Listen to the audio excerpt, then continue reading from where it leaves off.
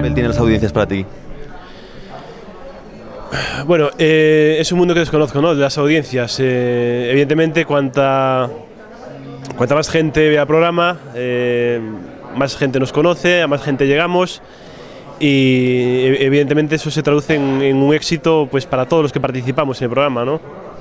Comentabais en la presentación, bueno, tú comentabas que tu incorporación al programa ha sido de manera progresiva, tu adaptación a las cámaras, pero por ejemplo Chico te comentaba que no, que desde el primer día ya estabas dando órdenes y mandando, ¿a quién hacemos más caso? Bueno, pues no sé, esto, esto habrá que verlo ahora cuando se invitan los programas, ¿no?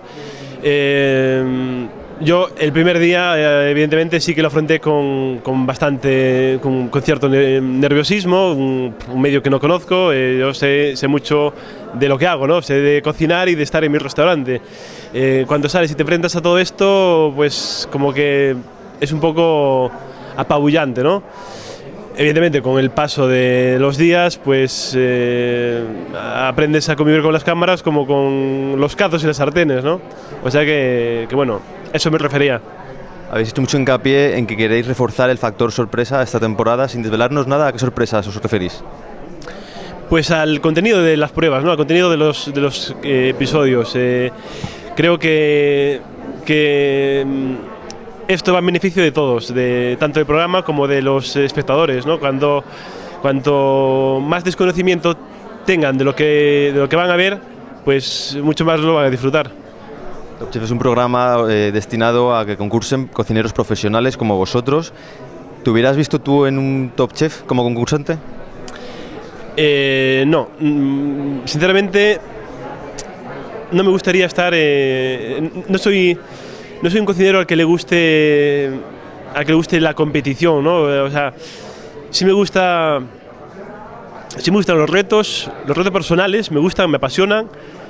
Pero, pero la competición, eh, por, por la competición es que es un, no sé, es un ámbito en el que no me, no me veo muy bien, ¿no? Eh, aparte, eh, creo que es un, formato, un concurso que está muy bien para, para cocineros profesionales, que, están en, un segundo nivel, digamos, ¿no? Para gente que, que a lo mejor está más expuesta, eh, no sé, no sé, es, es a lo mejor un poco más arriesgado, apasionante, pero, pero más arriesgado, ¿no? Habéis fichado esta temporada a cocineros con trayectoria de mucho prestigio. ¿Conocías la trayectoria de alguno de ellos antes? ¿De alguno de los cocineros que han participado en esta edición del programa? Sí, eh, conocía, eh, bueno, conocía a, a- a una cocinera gallega que es de Vigo, eh, es, es jefa de cocina de un restaurante de, de un colega del Grupo 9. Eh, o sea, sabía que era, no la conocía personalmente, pero bueno, eh, fue campeona gallega en 2008, o sea, es una, es una persona conocida, ¿no? Eh, hay otro chico que fue mm, cocinero del año,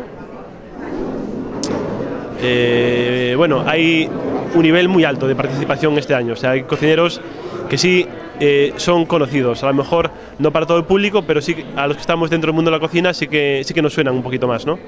Las pruebas son muy complejas. ¿Tú has visto alguna en la que hayas dicho yo esta no la podría hacer?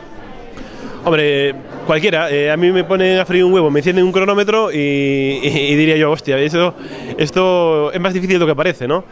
Eh, es lo que comentaba un poquito antes, ¿no? Que, que ante un cronómetro todo, todo cambia, todo, todo es diferente, ¿no? Hay pruebas muy complejas y la verdad que, que, que van a dar mucho, mucho juego y, y- y una competición tremenda. Vale, ya por último.